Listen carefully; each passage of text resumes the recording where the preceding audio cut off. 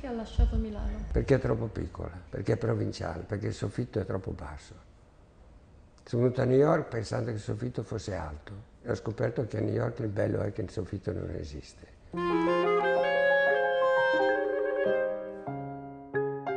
Noi lavoriamo in tutto il campo del design, no?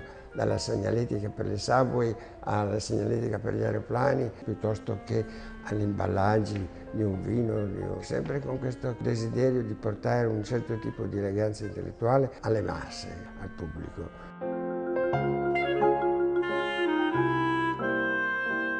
L'importanza della carta stampata è finita perché la comunicazione digitale ha preso il posto praticamente, il computer ha preso il posto. Si fa talmente di più, talmente meglio, che è ridicolo pensare che ci siano ancora i libri. No? Libri, questi oggetti statici dove un'immagine rimane lì ferma e uno deve girare la pagina prima di trovare un altro. Quello che non è finito è la grafica. La grafica anzi esiste ancora di più. Quello che noi abbiamo fatto in, praticamente in 50 anni di grafica è preparare il terreno per queste cose qua in realtà. Prima che uscisse l'Elvetica, per esempio, eh, bisognava tagliare lettera per lettera perché le distanze tra, i, tra le lettere era, molto, era troppa.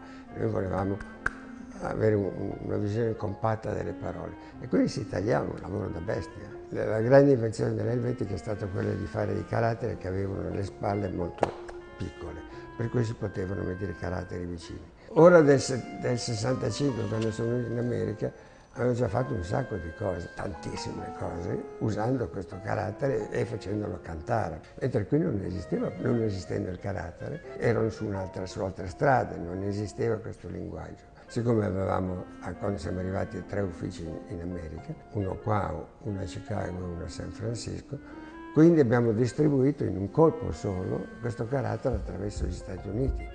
Siccome le cose che facevamo sapevamo farle, hanno creato una serie di entusiasmi e una volontà imitativa, che è quello che si voleva.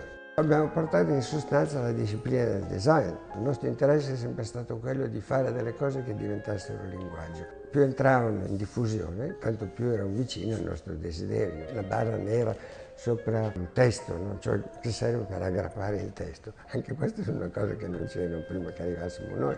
I giornali erano fatti in un altro modo. Quando abbiamo cominciato a fare il Herald, è stato il primo giornale al mondo fatto con una gabbia per esempio, quindi tutto modulare dove le, i caratteri, le, i titoli, gli spazi per la titolazione, le immagini, le, gli spazi pubblicitari, tutto erano regolati da un sistema di gabbie compositive. Oggi è il linguaggio comune. Siamo arrivati in un punto dove queste cose non succedevano in America, quindi se fossimo arrivati oggi non, sarebbe successo niente. È l'interpretazione americana del marketing che è dannosa l'interpretazione americana del marketing è quello di dare alla gente quello che vogliono. Questo è sbagliato, bisogna dare alla gente quello di cui hanno bisogno. Perché Apple, Steve Jobs, ha avuto un successo enorme, è diventata la più grossa industria del mondo, per dire? Perché non ha pensato di dare al pubblico quello che volevano, e se no stiamo freschi. Gli altri l'hanno fatto, gli altri ciaparat, come si dice a Milano le ricerche di mercato hanno senso se sono fatte per scoprire i bisogni, non per scoprire le volontà del, del pubblico. Un conto è chiedere cosa che ti piace, un conto è chiedere cosa che hai bisogno. C'è la misinterpretation, come dico, la, la cattiva interpretazione del concetto di libertà. Libertà non è quello che si dice fare quello che voglio, libertà è rispetto collettivo. Questa è una grossa differenza. In America, che l'ha inventata in un certo senso, purtroppo l'ha perso.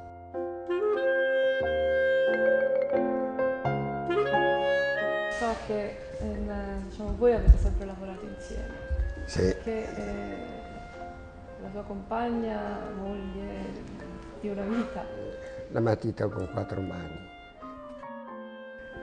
Lavorare insieme vuol dire um, così, avere una, una, piattaforma culturale eh, share, come si dice. Eh, eh, hm? Sì, condividere una, la stessa piattaforma culturale in sostanza. No? È quello che eh, vuol dire lavorare insieme, dove basta un'occhiata, eccetera, eccetera. La, grande funzione della lella è sempre stata quella critica, cioè, mentre io facevo, io sono quello con la matita evidentemente, facevo una cosa, la lella viene e dice non va bene, eh, ma perché, perché, perché, perché, eh, spiega per questo, questo motivo. E allora dice, to, ha ragione, è vero. pragmatismo è in un certo senso anche un livellamento al livello più basso.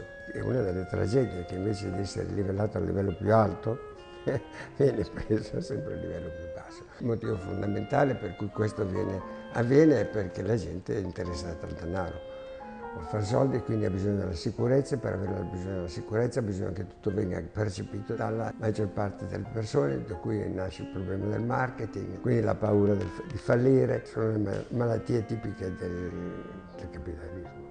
Dalla matita io posso estrarre tutto quello che mi serve, mentre al computer riesco solo a fare delle email e a guardare Google. È uno strumento fantastico che purtroppo non so usare è uno strumento che sta cambiando tutto, ha cambiato già tutto, ma per esempio se guardiamo l'architettura è cambiata completamente da quando è venuto fuori il computer.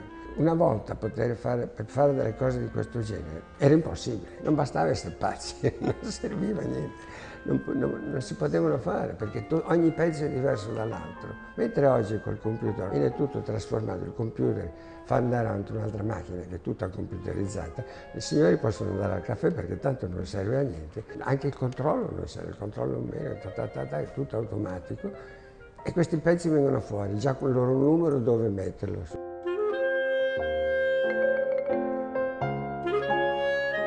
Io non credo nel melting pot questa idea che i vari paesi del mondo vengano qua e si fondono. Il bello dell'America è proprio il contrario, che non si fondono.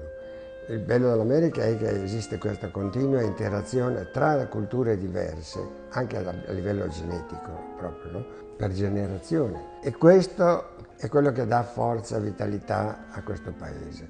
Ogni giorno a New York vengono pubblicati decine di giornali in tutte le lingue diverse, dagli svedesi ai russi, agli ungheresi, agli spagnoli, agli italiani, agli cecoslovacchi.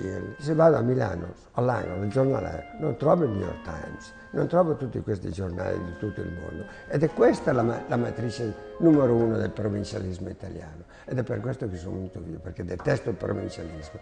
Quindi, detestando il provincialismo, quando si è trattato di fare un manifesto per celebrare gli Stati Uniti, ho celebrato proprio questa cosa eccezionale della plurietnicità, caratteristica di questo paese. E quindi sono andato a prendere tutti i vari giornali, ho fatto una bandiera, stampata in positivo e in negativo per poter fare bianco e nero, no?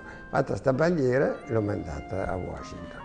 Mandata a Washington, gli è piaciuto tantissimo, eccetera, eccetera, finché a un certo punto, ecco, doveva arrivare, è arrivato un, un, qualche generale del, del, Pentagono che era in questa commissione, ma guarda cosa ha fatto? Ha cominciato a leggere le, le, gli articoli, no?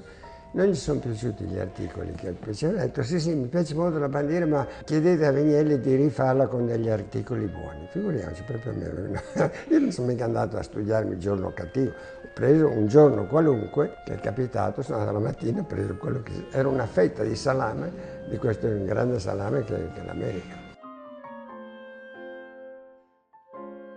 Per cui se uno sa disegnare una cosa, in realtà possiede lo strumento, possiede il sistema per poter disegnare qualunque altra cosa. Naturalmente occorrono uh, conoscenze particolari, specifiche sulla tipografia, ha un tipo di conoscenza, l'architettura ne ha un altro, gli interni ne ha un altro, un oggetto ne ha un altro, però la disciplina che coordina tutte queste operazioni è la stessa. If you can design, you can design anything.